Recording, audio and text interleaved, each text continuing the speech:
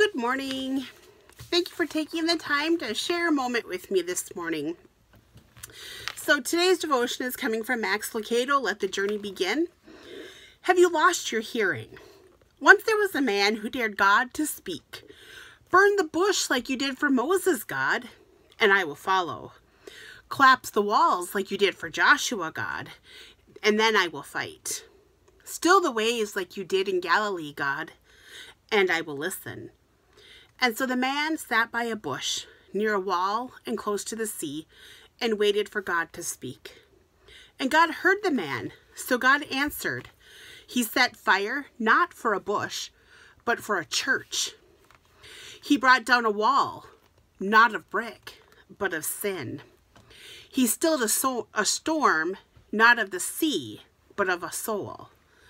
And God waited for the man to respond. And he waited and he waited and waited.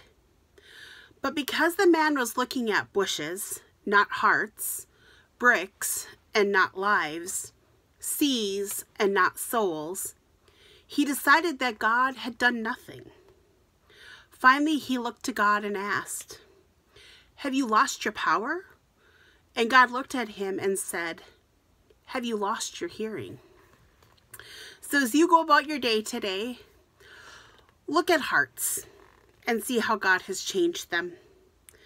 And look at lives and seas and look and see what God has done in the world around you and in the people around you. Have a beautiful day.